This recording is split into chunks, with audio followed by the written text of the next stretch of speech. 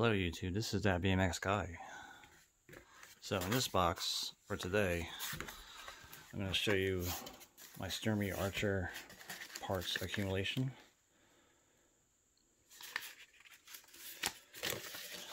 Um, some guy and well he was on eBay, so he gave me all these parts. Um, whoever the John guy is, uh, John something, he was in Illinois. I would like to thank him for all these parts. Um, I got them for a pretty decent price. He gave me a, a couple of these breakdown sheets. This is the normal AW sheet. Um, this one's for the S3C. Now, there's not that many parts of the S3C in this parts box, but a lot of them are shared with a different hub, which will be this next one. This next one is the TCW Mark III, and that's actually dated 1972 on the S3C, so I guess that's when that came out. But the TCW just has a little bit different parts, and most of these parts are shared with the AW, like the driver and the clutch, and the ball ring, and the gears themselves. But everything else is basically just a coaster brake designed the same as the S3C. The S3C had this different clutch. I think there's one in these boxes. This is like all the box right here is this AW. But in another parts box I have all the coaster brake parts. Um, yeah, so this one is just the AW. And the thank you note for taking it so I'll just take a look inside this box. So first off, I'll just take out the, the AW that is complete. This AW I had in the other video, um, it was actually in a shell before. So this is a complete AW that I got before this bundle of parts. Um, but this is a 56, I believe. Um, this is the same as the shell that I'm using the AM in. So that's what this this this one was the one that was actually in the video that I made of tearing down AW and looking inside of it. So that one just sits right there.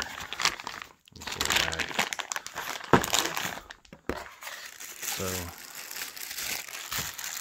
you a bag full of indicator chains of all different shapes and sizes. It seems like they're all, there's many that are long and many that are short. There's even ones with springs and other things, but they're all different lengths. I guess they have a mark on it, and I guess they call them, say if it has two marks like this one, it's a mark two. It's pretty easy to remember. But usually the AW is the shortest one, which is like one of these ones. But that's the indicator chain cluster. These are some springs. There's only two clutch springs. Um, in this bundle is a bunch of pawls. A whole lot of pawls. And they're all brand new. It's actually seemingly a clutch or two in there mixed in with them. But yeah, they're all the pawls. I have two of these are actually for that is a low gear ring. This is another low gear ring. This was actually on the AM. That was the aluminum one. This is the one that I found on a different AW shell. But it doesn't want to thread into, say, the other AW or the AM. I don't know why the threads seem different. And this is actually a drive side high gear ring. Usually we call it the ball ring. It doesn't have its cover on it to hold the balls in place, but that's in here.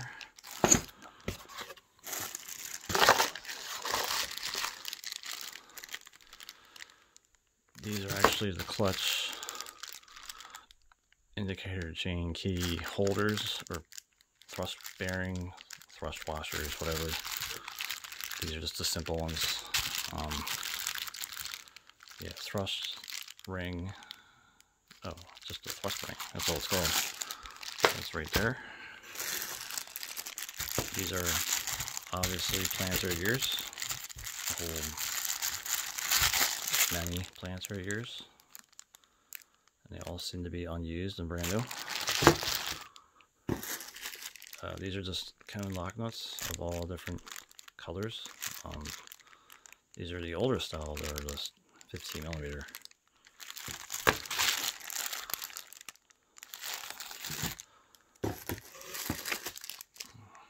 So these are the, Okay, so there's other pawls that there's so many of, they're low gear pawls. And these are actually the high gear pawls, where they go into the, um, the ring gear. They have the tail on them. The tail is lifted up when the clutch pushes them up to make the gear work. So these are the other pawls. These are, um, what does it say? Clutch sleeves. So that, that thrust washer goes against this clutch sleeve when the clutch key goes inside of it. That's right there. These are just washers that seem to be thrust washers, but you can use them for other things. They still work as like an axle nut washer.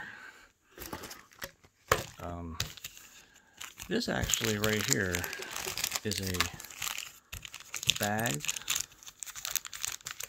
clutch rebuild kit that I was trying to sell on eBay. You know, it would come with the clutch. It's a brand new clutch. Uh, thrust ring, thrust washer, and clutch, whatever the other thing said, sleeve, and a clutch key. All came for like 20 bucks, but there was no one biting on it, no one wanting to buy them. So just in your, I don't know, I don't know These are um, sprocket spacers. You can also use these as um, bottom bracket spacers for a European style bottom bracket. Or even like, you know, a cog spacer for other things.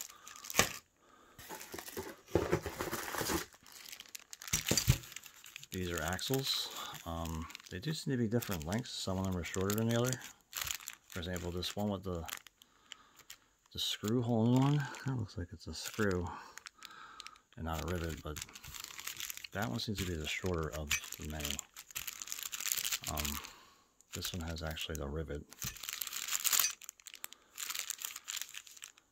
But yeah, these are the normal style AW, and if that little key, this one has a key. That's for like the coaster brake style hub.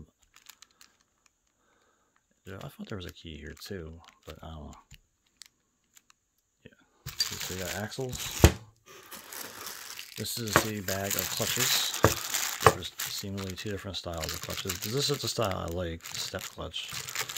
But there's like a more like an offset angled clutch that's in here. And there's many of them. Um, they, just, they both work the same. They don't make that much of a difference. Just clutches. These are the. This is the bag that's supposed to have all the clutch keys. So wherever I saw those clutch keys in that bag of gears, I guess, that's these. They should be in this. This is the bag of I'm going to say the low gear uh, pawl pins. They might be high gear pawl pins too. I'm not really sure they're both exactly the same. That's what these are. There's different colors. Like some reason you see there's silver and there's a couple of black ones. Actually, I guess those black ones like they're used. And this is just another one of those clutch rebuild kit bags. This one, these are serrated axle lock washers to hold the dropout straight. So you put this around your axle and it kind of keeps the axle from spinning in the dropout. There's a couple different styles in this bag. Uh, there's even like one of the cone lock washers. lock washers. kind of mixed. Um, so these are pins. These are the planetary gear pins, and all AW ones are stepped like this. Looking here, they kind of all look the same. So I got lots of planetary pinning, pinion pins.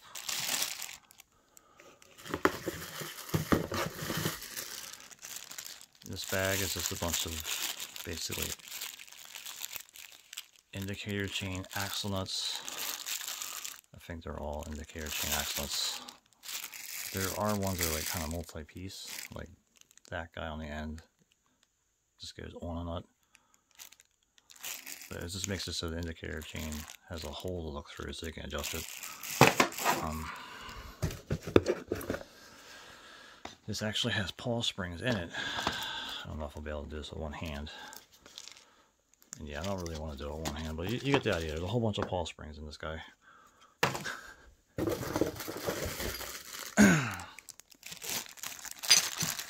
In this bag we have, it looks like three planetary cages.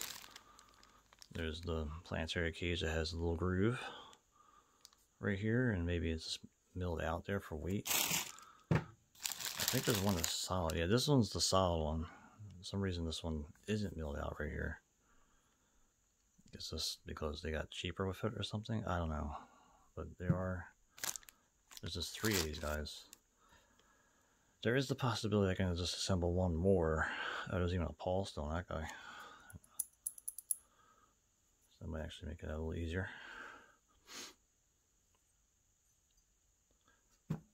So in this other box, we have dust caps and miscellaneous that can actually be opened with one hand. Dust caps meaning like these go on the ball ring side and cover the ball ring. There's different styles in there. Like shiny lipped one that goes in one of those lipped end bells and got these are bearing cone dust shields that go into the driver or the low gear ring. These are actually cone cones, yeah, uh, axle cones for the bearings on the axle. And here are the the fulcrum clips and pulleys that hook to your frame and up the cables. There's a bunch of them in there, and then there's this one more looks like a, a bearing shield again. So that's pretty much the whole collection of parts that are just AW. I do have one of these, and this needs to be the right style, I hope. This is a, you know, gearing. Hopefully this is the right one. Otherwise it's going to be longer. There's actually his pawls already on it.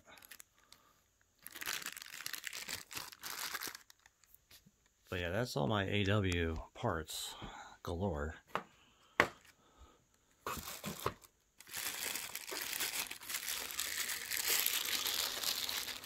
So, I think the idea was the video to do a build of an AW, but I don't really know if I want that, so maybe the next video I'll do that. Because I need like to sort it out, understand what I'm doing. But that's my collection of AW parts. Uh, this isn't the only parts, like I said, there's another box filled with TCW and S3C parts. I still also have a whole S3C that I never got to use for anything. Um,